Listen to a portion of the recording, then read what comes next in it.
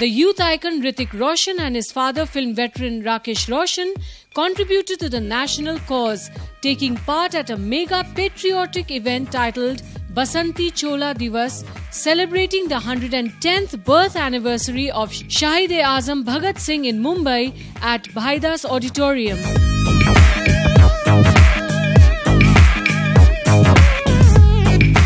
Bollywood celebs Hrithik Roshan and Rakesh Roshan paid tributes to the one and greatest martyr of this nation, Bhagat Singh, on his 110th birthday.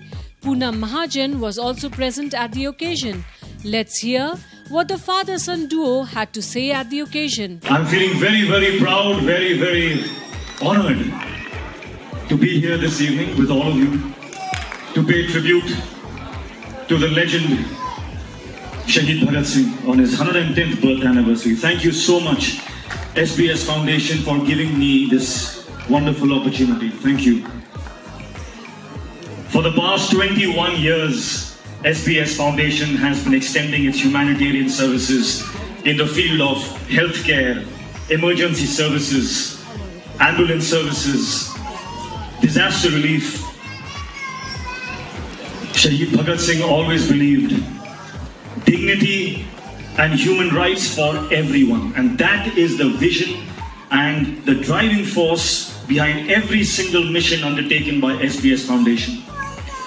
Their life-saving missions like blood donations, ambulance services, disaster management have been absolutely exemplary.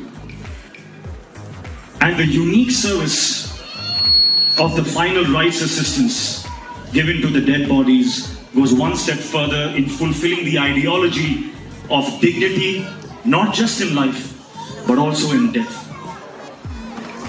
I would want to congratulate SBS Foundation for their exemplary work, and I assure and promise my assistance, help in any way that I can be a part of this. I will, I'm always there with you. I just want to end by making an appeal to all of you. Support SBS Foundation and find that legend inside of yourself because I know that we all have that legend inside us. मैं सिर्फ sir झुका के मैं श्रद्धांजलि देता हूं भगत सिंह जी को और I am very proud of S B S foundation who is carrying his fragrance of courage and sprinkling to all the generations in the past, the present, and the future.